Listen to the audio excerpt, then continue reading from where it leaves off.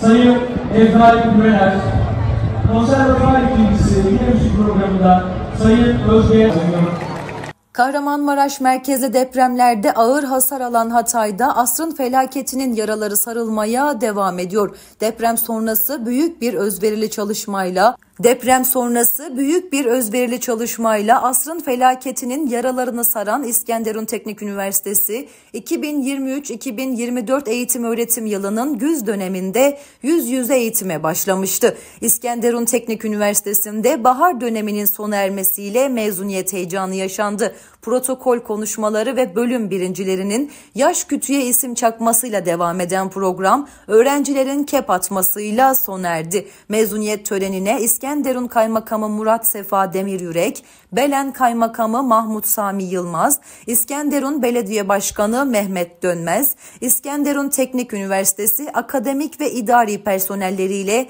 mezun öğrenciler ve aileleri katıldı. Müzik